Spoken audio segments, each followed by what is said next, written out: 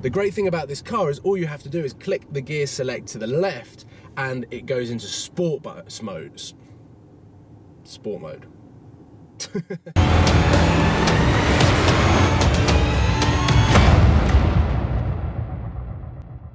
Hey guys, welcome to Supercars of London and a slightly different video to the daily vlogs that I've been producing recently. As you may or may not know, I have been driving around in the BMW i8, the 2014 BMW i8 given to me by BMW Sterling Way in Boreham Wood. And firstly, I just have to say this is the most futuristic car I think on the road today. It looks utterly insane from the wheel design to the way that the doors go up, the wing mirrors super curvy, and the two-tone blue and black.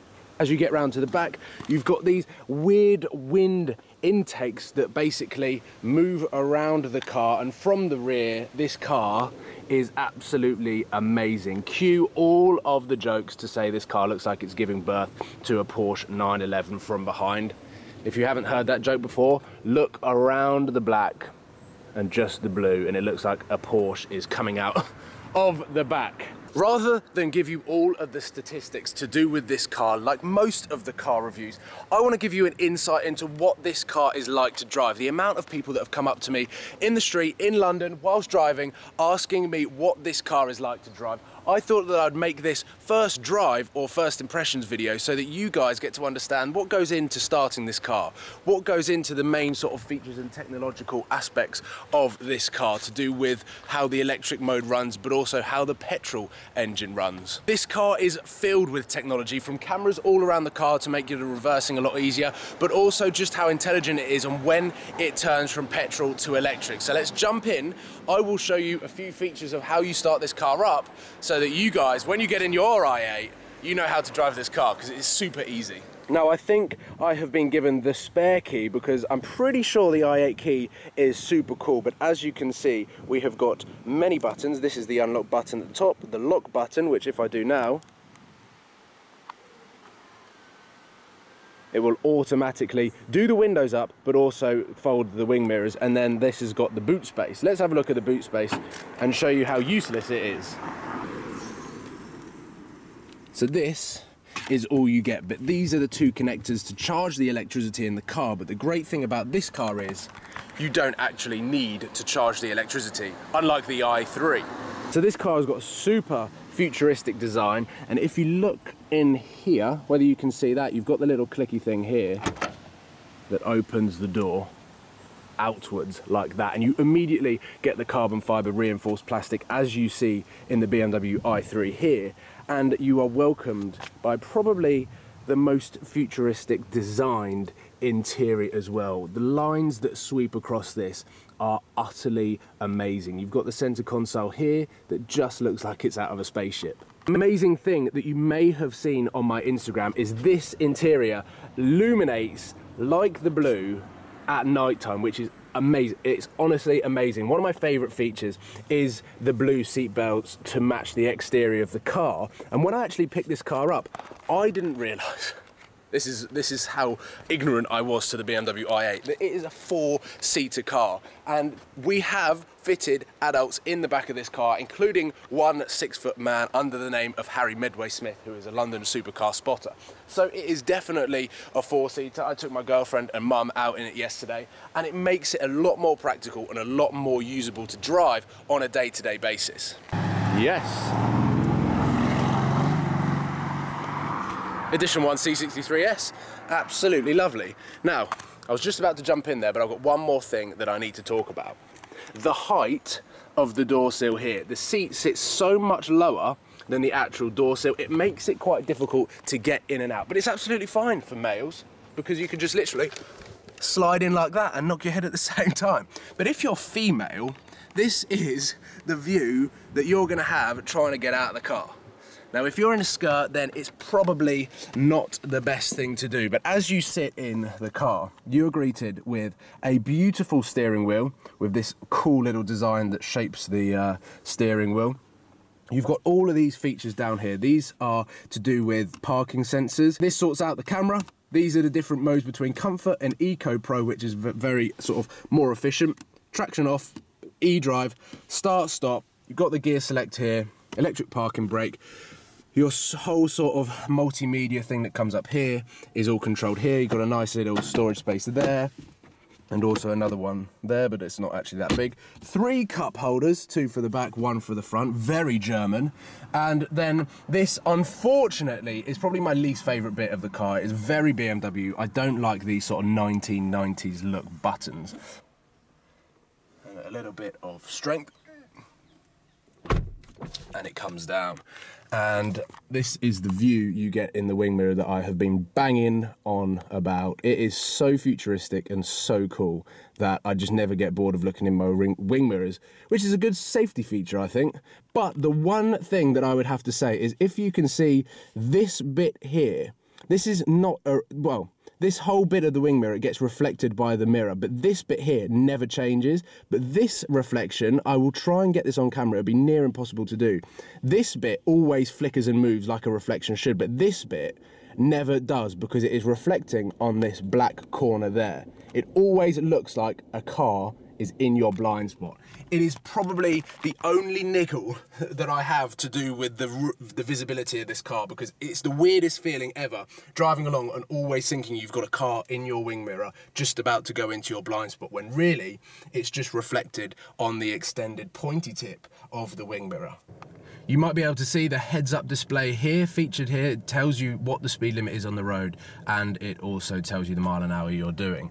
And because we're in drive, even though you can't hear anything, we can actually pull away in electric mode and no one would know. No neighbours would hear you leave or return because as soon as you put this car into reverse, it switches to electric mode. But as you can see, this car is super silent and very eerie if you're not used to electric cars. So now, what is left for me to do, now that I've set the camera up, is to put it back into drive and do exactly the same manoeuvre as I did last time.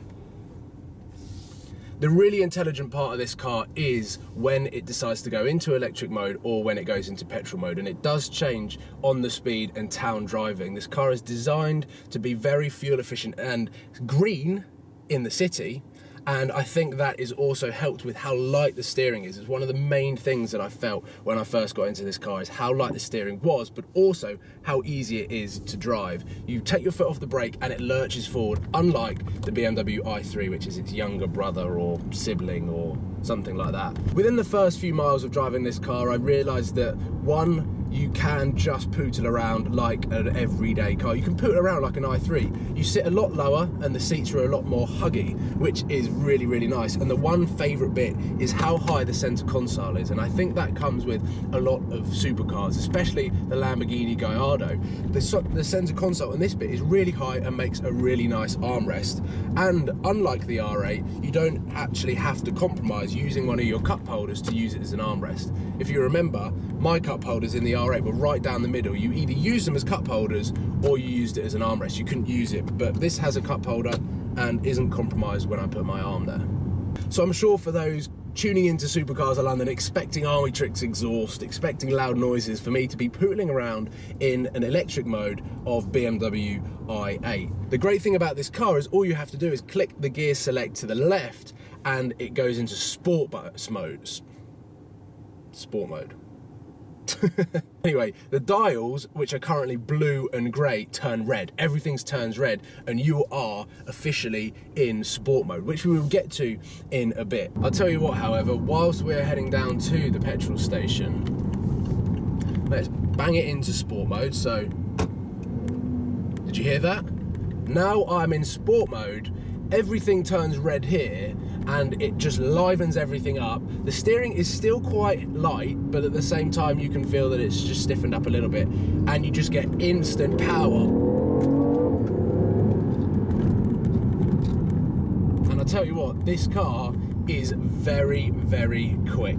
Now, a question that might pop up in this, talking about the sound of the car, is that yes, you can get an exhaust system for it. I have YouTube uh, BMW i8 exhaust systems, and there is a titanium exhaust system that sounds amazing. The one thing, the one little niggle that I have about the sound of this car, you might be able to tell, is that it's played through the interior speakers of the car. And I've picked that up. I actually haven't had this confirmed. I'm guessing. So BMW, I apologise if it doesn't actually do that and this is all authentic engine noise. But i feel like it's playing from the inside of this car. I'm not sure where it's coming from but it feels like it's coming from the inside which isn't a bad thing because it makes it sound really really cool from the inside. It's going now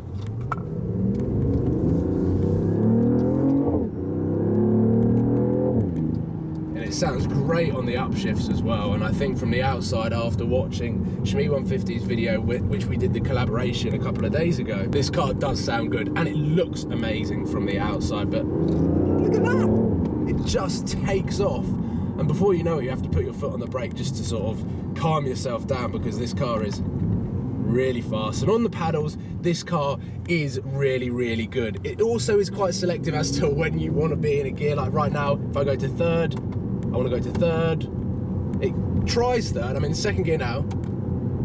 It goes to three and then back to two. So you have to accelerate a little bit before it actually selects third for you, which is a little bit annoying. Um, it doesn't let you drive completely how you want it to. But again, this car is an automatic, so kind of want to you'll expect that. Might not even want the paddles if you buy this car. You might never use the paddles, but me being me, I use the paddles one thing that I completely forgot about was talking about the looks of this car and how it makes people feel that see it. I have seen so many jaws hit the floor when people have seen this car. So many people have commented, what a cool car so many people ask what it's like to drive because it just looks so futuristic. I don't think people understand that it is just a normal car. People probably think that you use a joystick and a hovercraft machine to power this car, but no, it's got a steering wheel, it's got gears, it is a normal car, and I think that's what the majority of the people that look at this car can't get their head around. It is just a normal but very, very special car. It is definitely up there with one of my most favourite cars that I've ever driven. But you'd probably expect that because I haven't actually driven that many cool cars. An R8 V10 Spider, R8 V8, 458, uh, uh, LP560 this and an Aston Martin DBS, and this is definitely up there as one of the coolest cars that I've ever driven. The biggest wow in this car for me is the practicality and usability of this car every single day. I love the fact that I had my Audi R8 V8, I love that car, but at the same time with the Armytrix exhaust system, it wasn't the best daily. I thought that it was a really good daily until I've driven cars like this, but also the V10 Spider. It felt like there was a split personality in that car where you could use it every single day as an A3, but then turn it into a track focused absolute animal. The technology in this car, the cameras, the reversing camera, the cameras underneath the wing mirror and the front that gives you a bird's eye point of view of this car and you can watch yourself driving along like Grand Theft Auto in the olden days. Um, but this car then moves into the sporty little car when you. So even that caught me off guard a bit, the way that it just accelerated from the line. Just the the synchronization of the electricity and the fuel in this car just makes this car an animal but it's so good at handling as well. And it's just the way that BMW have engineered the steering to be that slightly little bit lighter on the slower speeds. When you're driving around town, and definitely when you're in e-drive, it just becomes like a, a Fiat 500. But then when you really want to go for it, it just steers like an absolute dream. I'd love to take this car out on a track. And um, it's just it, this car enables you to keep to the speed limits even round a roundabout. Now that is something that not many cars can do. But the way this car handles and the, how flat it is around corners, there's no sort of wobbly suspension or anything like that. In sport mode, it really hardens up and becomes a supercar rival. That is the best way to describe it. It is a practical four-seater concept car. And who doesn't want to own a concept car? This car seems really robust in the sense of how much you can have fun in this car, how much you can thrash it around a little bit around the corners, put your foot down in the straights, and because it's a BMW, you have that German reliability of that you know it's actually been put together properly and all of the wires have been connected properly. Whereas in the Italian cars, yeah. I'm not so convinced the reliability of Italian cars is as good as the German cars. Straight!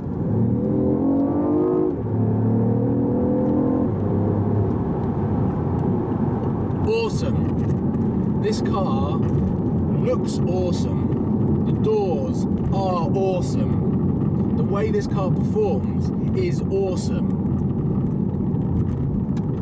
How's that for a review? I think I nailed it. I think I nailed it with just one word, awesome. I love how this car looks. I remember seeing this car get launched at the motor show and was like, BMW are making that car? And I can imagine the mass audience that saw the BMW i8 for the first time at the motor show thought that it was a concept car, didn't think that it was actually going to be seen on the road. And that's maybe why people's jaws are on the floor when I drive past because they're like, that's the car I saw at the motor show and that's the concept car. What, what they, what's it doing on the road?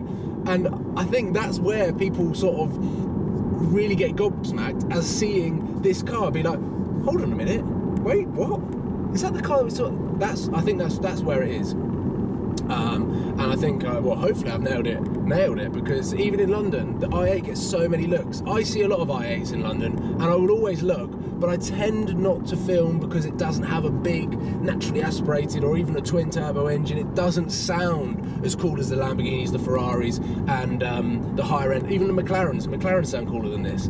So it's a weird one, but I still look at them. I still look at them and go, that is that really on the road in 2015? It looks like it's a 2020 car. It's so sad that I'm actually driving and only about two or three miles away from BMW um, Stirling Way before I have to drop this car off.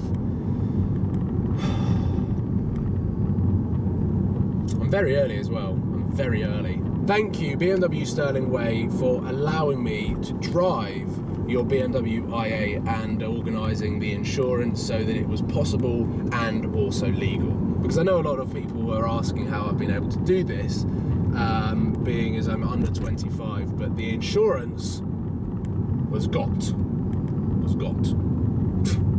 I don't know. Hopefully you've enjoyed this video.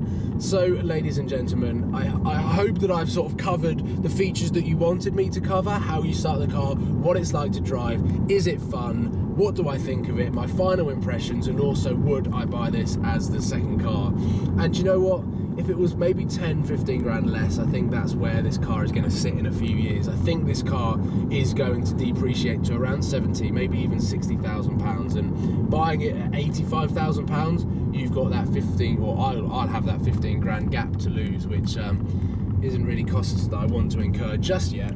Thank you for watching guys. I hope you have enjoyed this video and um, have enjoyed all of my vi previous videos. If you've watched them, if you haven't, then please subscribe to Supercars of London if you're new um, because there's so much more cool content to come and hopefully this is the beginning of many, many cool cars to for me to have and um, yeah.